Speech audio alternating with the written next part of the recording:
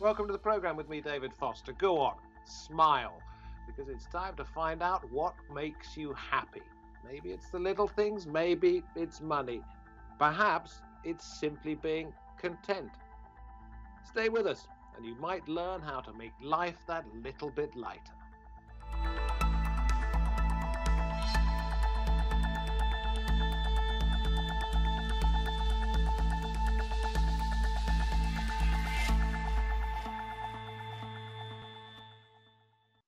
Those who say the COVID crisis has changed our sense of happiness, of well being.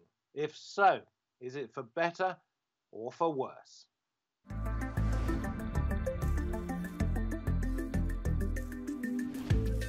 The COVID 19 pandemic has made us rethink so many aspects of our lives the way we work, the way we socialise, and perhaps even what makes us really happy.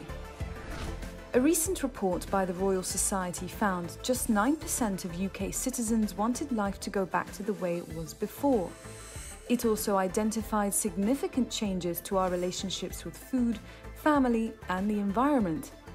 And experts say it is those connections with others that have a big impact on our happiness and well being. During the pandemic, many people have turned to volunteering and community groups and regularly came together to celebrate the efforts of frontline workers. In so many ways, the well being of others has taken on new importance. So, is our idea of happiness becoming less about us as individuals and more about us as a collective? I'm very pleased to say that joining us we have Charlie Lea, Senior Lecturer in Psychology at the University of Brighton. We say hello to Christopher Boyce, happiness and well-being expert who's been to the world capital of happiness. We'll find out where that is. And Trudi Edginton, clinical psychology and mindfulness teacher. Good to have you all with us. Charlie, let me come to you first of all. Um, COVID 19 has been so disruptive. How do you think it has changed our basis of happiness? Well, it's it's really interesting that you should ask that. We don't actually know if it's changed how people understand or talk about happiness yet. That's something that we're interested in looking at, myself and Dr. Emma Anderson.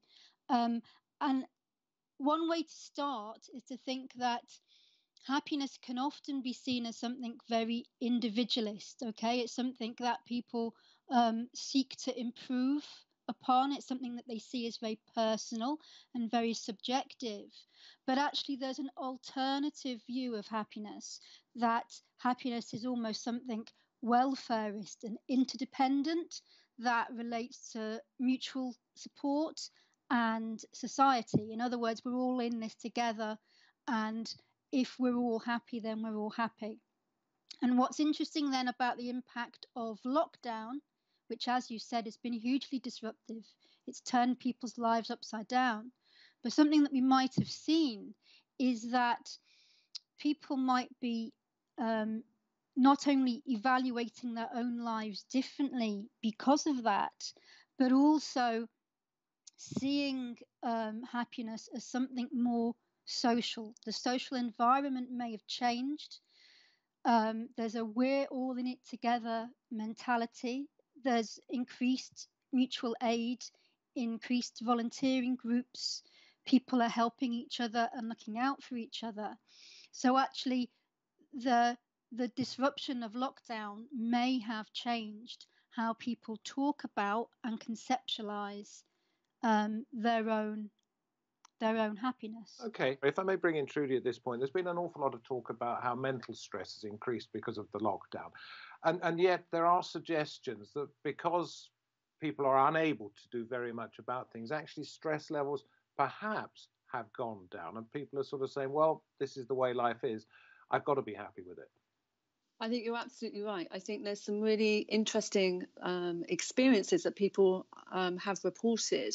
And um, I think it's very individualistic in terms of how people have experienced lockdown. For some people, it's been a great time to be able to reflect and, and spend time with loved ones. And, and um, as Charlie was mentioning, that, that whole sort of sense of being connected and and that sort of so we can still maintain our social connection with uh, the remote delivery of sort of uh, social media. However, for some people, it's been um, a very stressful time, and and I think it's in a way to me, I, I think lockdown has almost created a, a magnifying glass. It sort of exacerbates uh, our natural uh, sort of experience. So if we are feeling very social and connected, it can actually make us more connected um, if we use those social media tools. But for some others, it can make people feel very isolated without that sort of human touch and human connection.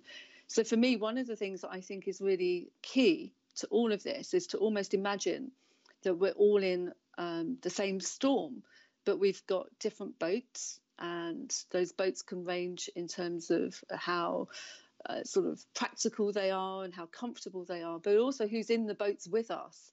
Um, and sometimes it's, it's very much a case of who you're actually sort of stranded with. And for some of us, that might be a great experience, and for others, that can be quite challenging. Yes, and I suppose you have to hope you're in the lifeboat rather than the one that's holed below the waterline. Um, Christopher, let me bring you in because fascinating to read that you were a researcher into happiness and that didn't make you happy, so you quit. Yeah, I mean, that about sums it up. So, um, yeah, I was doing research into happiness um, for about 10 plus years, um, trying to understand what the causes are, what people's circumstances that contributed to a happy, happy life, particularly focusing on the kind of social or economic circumstances. And I guess I was looking at my own life and thinking, well, I'm going to try and apply as much of this as I possibly can. Um, but I kind of reached a limit and realized actually, hey, there's actually limits in the society which actually bar me from actually doing some of these things because, hey, I've got a job and I need to do certain things within that job. Um, so I was kind of interested in other parts of the world which are trying to create societies which have a more, I guess, more of a collective whole sense of happiness and kind of shared togetherness. And so what I did is I um, basically quit that job and um, ended up on a bicycle uh, journey that took me 18 months, which eventually had me arriving in, um, as you mentioned, the happiness capital of the world, um, the country of Bhutan. And we've got some um, pictures of it. Oh, great. And what did you discover when you got there? Well, I don't think it's about what I discovered when I got there. I think it was what about I, I, I explored along the way. Because as well as it being a personal journey, it was also about a bigger journey. Because for me, the journey had real purpose. I mean, what I was interested in doing is li- I'm interested in living in a society that is more caring, compassionate, and kind. And I guess I don't always see that in the society which I was born into. Um, so I guess I saw things in myself which I was I was struggling with, and I wanted to have that kind of freedom on a bicycle, very simple, humble way of traveling, also very connecting, and to to meet people along the way as well as experience cultures um, and also wider countries where they're actually actively making um, attempts to make uh, more fulfilling well-being lives for its citizens. Because they have this um, system called the gross national happiness index. That's how they measure how well they're doing and how they're helping society, right? Sure, yeah. I mean, Bhutan have, have been um, talking about gross national happiness for, for more than 40 years. Um, and for them, it's kind of a model of sustainable development. It's a way of developing society in a way that actually isn't uh, detrimental to other aspects of well-being. So I guess if you go down the standard path of you know more stuff, economic growth is the key, then actually other things get sacrificed along the way. Christopher, I'll come back to you in just a moment, but Charlie and, and then if I may, Trudi, tell me what, how you would define happiness and what happiness means to you personally, Charlie. Okay, so I mean, I, as an academic, there are lots and lots of ways we can define happiness. Academics um, have been thinking and studying happiness for thousands and thousands of years. We haven't really come to an agreement.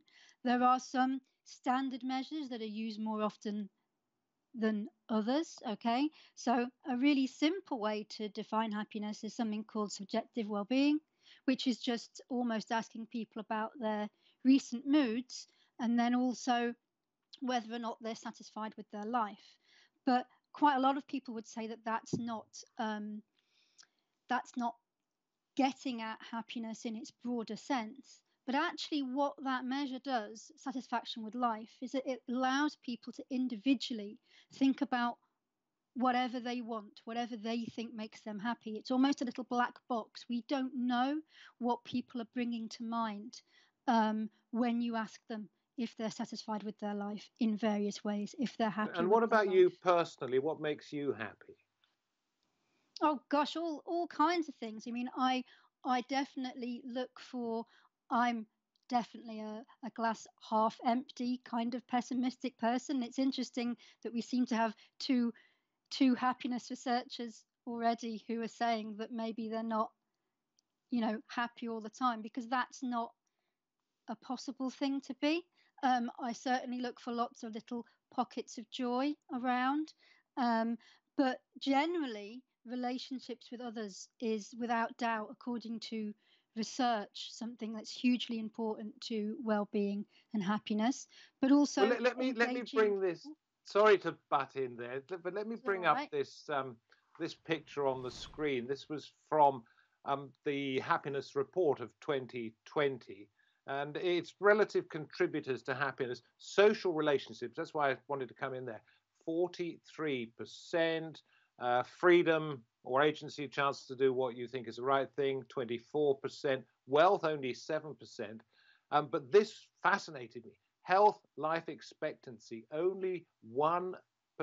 It's relationships, Trudi. Is it that you think matter most in happiness? I absolutely, and and I think within happiness as well. I think what's really important is to sort of pick apart the different elements of happiness because there's a feeling of happiness, that, that sort of emotion or that joy that we feel, but there's also the thinking behind it. So the cognition and how we appraise our situation. So unfortunately, our brains are very much about sort of judging and comparing.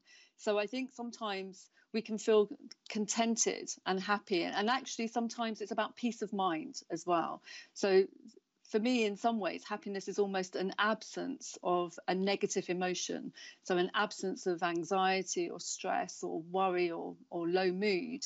And that sense of connection with others, a sense of purpose where we can flourish but also a sense of mindfulness so that we're actually savoring the present moment. So people that can actually be grounded in their present moment experience tend to experience more happiness because they're actually sort of paying attention to all the little bits of um, you know sort of mm. looking and immersing ourselves into nature thinking about that connection and love and um, being able to flourish. So it's very much about the journey in some ways. So it's really interesting about thinking about ways that we can be happy. And and sort of for me, when I think about my happiness, I I, I really enjoy dancing. So having a, a way of expressing yourself uh, in being connected with your own body and with others. So a, a real sense of joy, synchrony, and and being able to flourish and and learn something new. So I think there's a there's a learning aspect to this too. So it, it's really fascinating. Uh, Can I just say is. the two two words that come up quite often when you're looking into this, researching it, as I did almost from an amateur basis, are resilience and flexibility. And I suppose, um, Christopher, that means you mustn't fight against the things you can't change. And you've got to be flexible enough to sort of say, well, I could be happy in another way as well?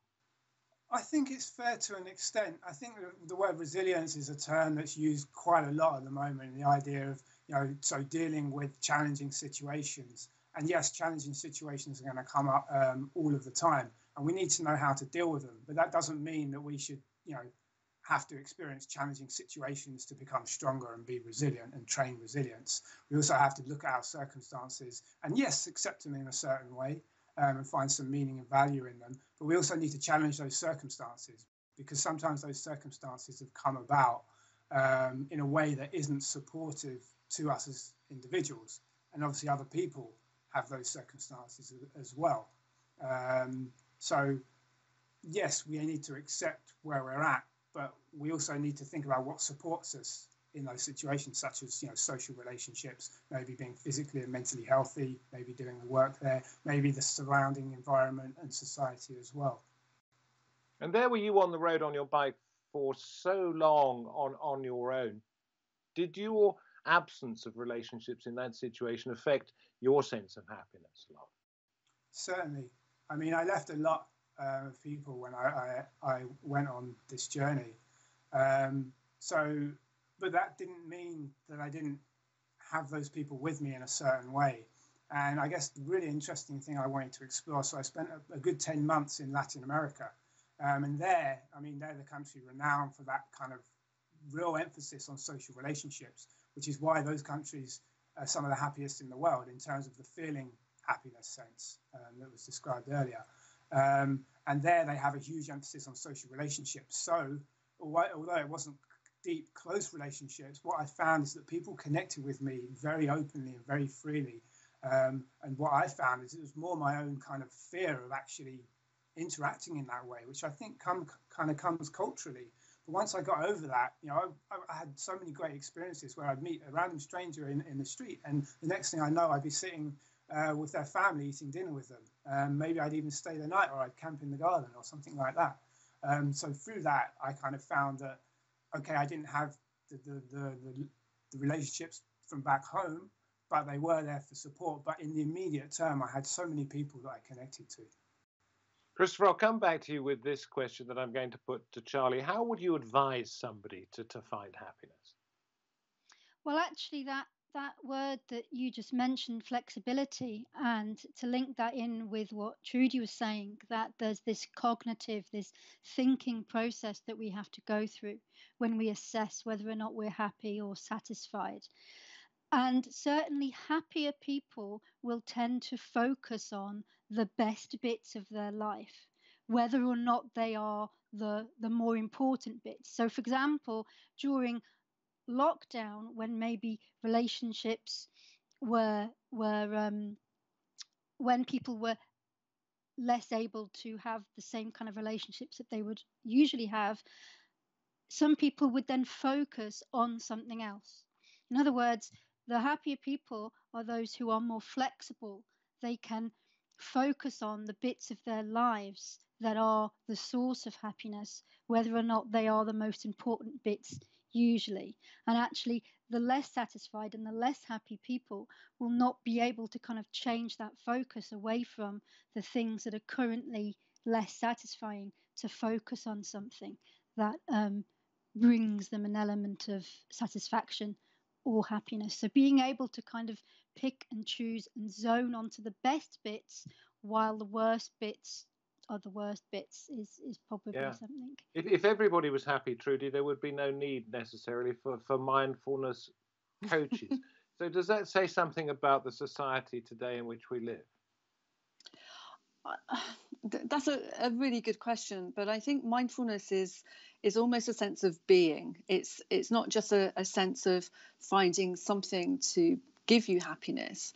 It's a way of actually dealing with the way our minds work, and I and I think it's getting in touch with our own humanity. We have a very sophisticated brain that um, takes us uh, into some mental time travel. So we can go back to the past and we can take ourselves into the future. And that can be amazing because we can remember childhood events and we can think of our plans for holidays and think about the future. But also that can lead to rumination and, and sort of overthinking or worrying about the future.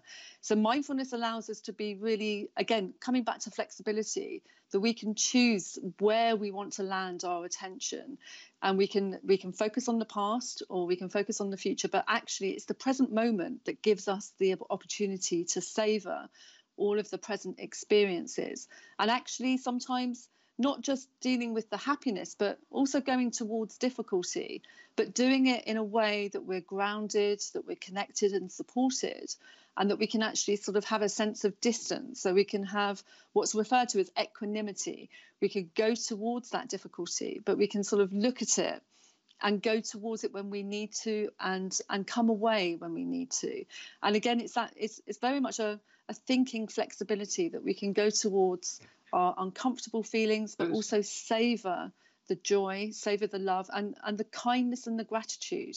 So if we bring so our no attention to contradiction, then sorry to cut you off, That's but okay. no contradiction in the fact that you rely on your memories, perhaps, to make you happy. Um, things could that could happen in the future uh, to give you a sense of well-being, and yet you say you should stay grounded in the present to me it's it's about having the flexibility to to choose where you want to land your attention. So you know there are times when it's great to be able to be able to go back to our memories and have that sense of nostalgia. But if we have a, a traumatic memories for instance we might not want to stay with those memories. And sometimes if it's a traumatic memory or a difficult memory it can actually sort of capture our attention. Or if we're unduly worried about the future if we're afraid if we have a very sort of severe anxiety, we get captured with that fear or that threat. So it's being able to make those choices and and sort of go between. And and staying in the present moment it's not about staying in the present moment all of the time. It's about dropping into the present moment when we want to feel connected mm. and grounded.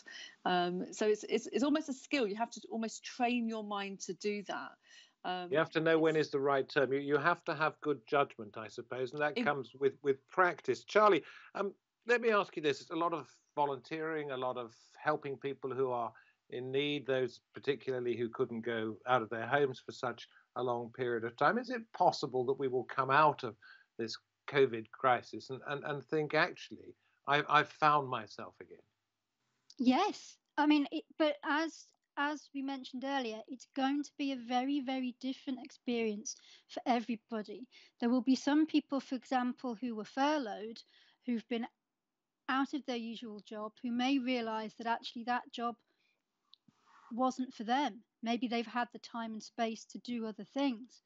Um, maybe there are people who um, have now had the time to do more voluntary work or community work and they've discovered something about themselves that they didn't know before.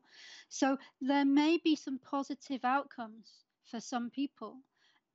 But we do have to remember that it's been a very, very traumatic time. It's very, it's been a very tragic time for a lot. Can, can everybody learn in some way or another how to make themselves more content? Well, we kind of go back in a full circle now, don't we? We go back to this idea is happiness something that we as an individual are responsible for? Is it up to me to make myself happier?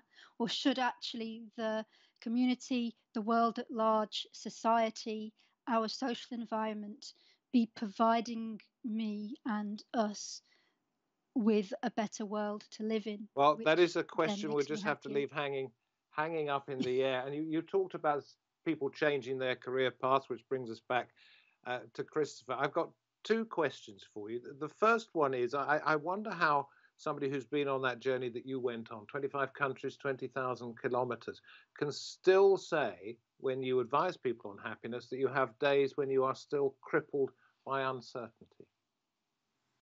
Yes, that's very true. I kind of I'm, I'm thinking about the, the answer to the last question. I also feel like I've got an answer to that as well. So I'd like to come back a little bit um, and talk we about. We don't have an awful lot of time left in okay. the program. To talk about the kind of individual want. pursuit of happiness, um, and we need to kind of get over that in a little sense, um, because we can make choices and we can do things that, that make us happy, um, but we're also within a society that doesn't necessarily support that.